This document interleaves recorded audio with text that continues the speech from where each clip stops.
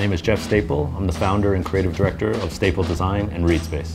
I think mentorship should be more about giving and receiving and a back and forth of like passing information between each other and learning. I've taken a lot of time recently to pass the knowledge on. And I started to teach classes at universities, I started to do talks and lectures. And so this Centaur program just fit right into line into what I was doing anyway. Remy is a, is a global brand, high quality craftsmanship, high caliber, and, and, and, a brand of luxury in many people's eyes. You know, so that was the, the criteria that I wanted to, to look for when I was when I was looking for a mentee, and I think I found it in this gentleman named Miguel Hurtado. So he was a perfect candidate for, for the Remy Centaur program. It might sound cliche, but as long as him and I in five years are happy and in love doing what we do, that's that's all that matters. If he's waking up and if he still likes what he's doing, then he's onto a good path. I mean, selfishly, part of the reason why I'm mentoring people is because at least people can look at me and be like, well, he helped me get to where I am. Maybe I'll give this guy a job later on, you know? But it's really nice that Remy Martin did this Centaur Mentor program